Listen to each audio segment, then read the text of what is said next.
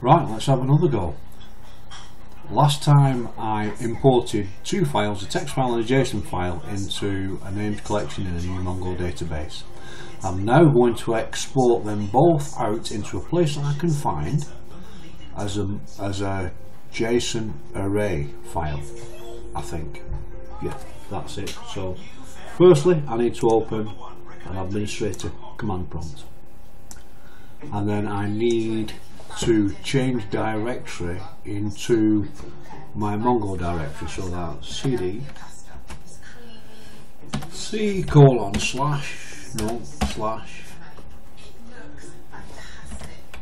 program files spelled wrong right obviously program files slash mongodb slash server slash 3.2 nearly there slash bin. That's where I am. Okay now from there I need to issue a Mongo export command. Now, it is something along the line of Mongo export minus D, the database, which is Mahendra, minus C for the collection, which will firstly be bus data.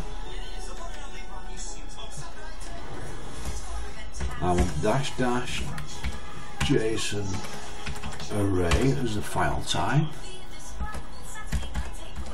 out as I assume that's where I'm taking it. And I want this to go to C colon slash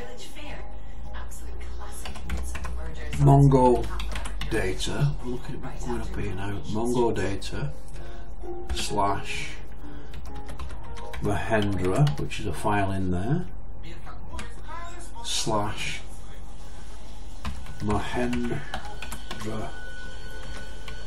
exported slash. Bus. Data.